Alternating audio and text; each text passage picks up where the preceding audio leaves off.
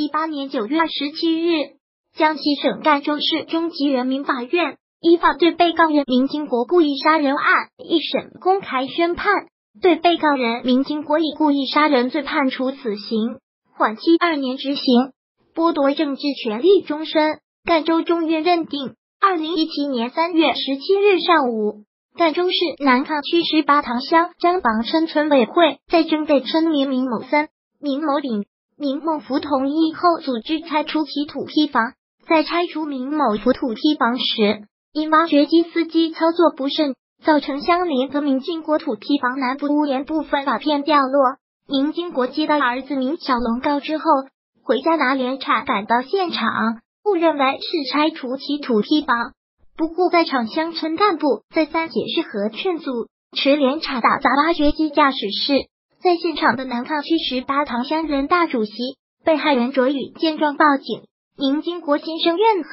持连铲猛击卓宇头部。在卓宇倒地丧失自卫能力后，不顾众人劝阻，再次加害卓宇，持连铲三次打击卓宇头部，致卓宇严重颅脑损伤而死亡。被告人民经国故意非法剥夺被害人卓宇生命，其行为构成故意杀人罪，主观恶性大，犯罪手段残忍，犯罪后果特别严重。鉴于民经国误以为自家土坯房被拆除而起意杀人，归案后如实供述犯罪事实，当庭自愿认罪悔罪，依法对其判处死刑，可不立即执行。据此，法院作出上述判决。民经国当庭表示上诉，被告人亲属、被害人亲属、市人大代表、政协委员、媒体记者及各界群众六十余人旁听了宣判。明经国故意杀人案受到媒体和社会的广泛关注。审判长在一审宣判后，第一时间就公众关心的一些问题做出了解答。问：本案中是否存在对明经国的土坯房非法拆除的行为？答。本案在案证据证实，南康区人民政府及十八塘乡人民政府既未认定民经国家土地房系空心房，也未作出决定强制拆除民经国家土地房的行政行为。二南康区人民政府及十八塘乡人民政府一直要求农村土地房拆除工作必须坚持以群众自愿为原则，不存在强制拆除的问题。三。张房村村委会在案发当天既未决定，也未实施拆除民进国家土坯房的行为。案发当天，张房村村委会拆除明某丙、明某福、明某森土坯房的行为，是已征得上述村民明确同意后实施的。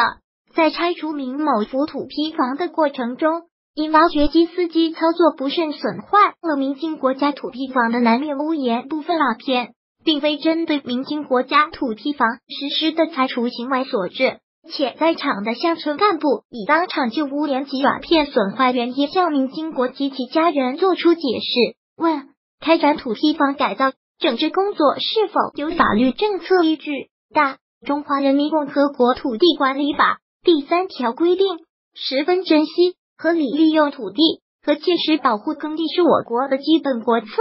各级人民政府应当采取措施，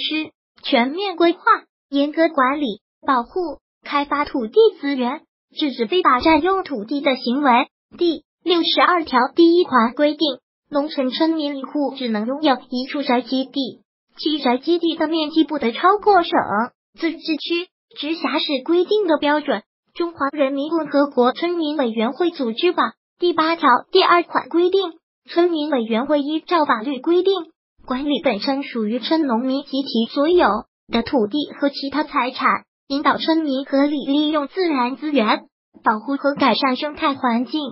国务院支持赣南等原中央苏区振兴发展的若干意见之，其提出加大以土坯房为主的农村维旧房改造力度，加大对赣南等原中央苏区农村维旧土坯房改造支持力度。重点支持赣州市加快完成改造任务。根据以上规定，赣州市人民政府及南康区人民政府开展农村土坯房改造整治工作，是为了改善老区农村群众的生活居住环境，建设美丽乡村。张房村村委会根据政府要求，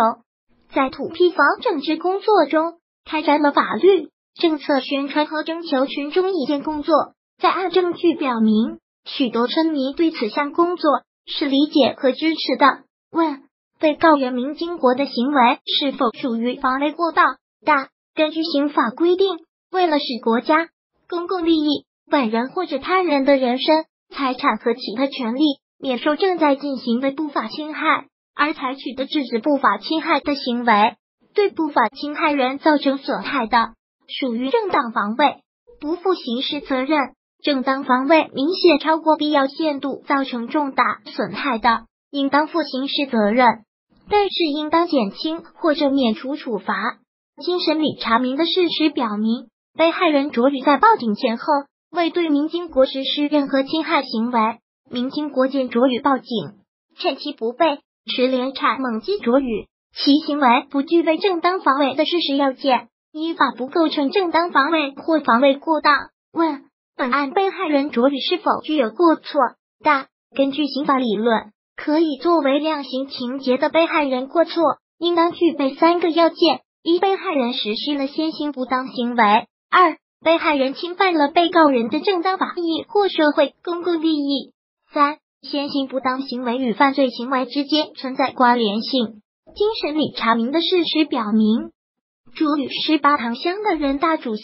其依法有权对整个十八塘乡的各项工作进行监督。张房村土坯房拆除工作也是日常督导内容之一。卓宇案发当天到现场，是根据职责分工开展正常的督导工作。二，民经国房屋受损，系挖掘机司机在拆除江林土坯房时操作不慎所致，且在民经国房屋受损之时。卓宇尚未到达现场。三，卓宇到现场查看土坯房拆除工作进展，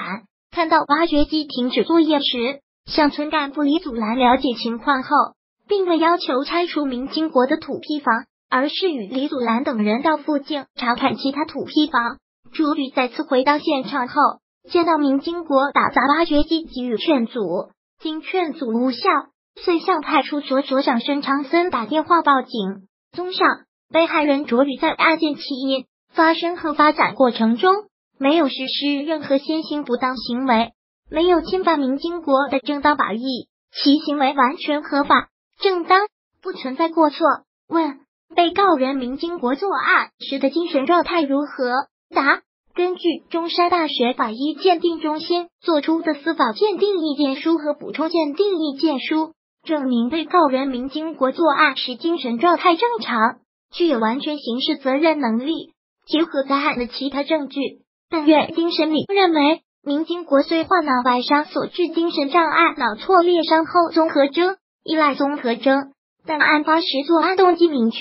作案时对作案对象的选择明确，用连场打击打电话报警的卓宇，还明确让在场的其他干部走开，以避免误伤。在作案后迅速逃离现场，以逃避责任。综上。明金国作案时精神状态正常，对自己行为的法律性质、后果等均具有正常的分别认识能力和行为控制能力。中山大学法医鉴定中心所做出的司法鉴定意见及补充鉴定意见，均系就此事的鉴定机构人员依据法定鉴定程序所做出，鉴定程序合法，经补充鉴定，鉴定依据充分，鉴定结论科学。客观。与其他证据能相互印证，但愿予以采信。问。被告人明经国是否自愿认罪？对其量刑的依据是什么？答：被告人明经国归案后，多次如实供述其因被害人卓宇报警，数次击打被害人卓宇头部致死的犯罪事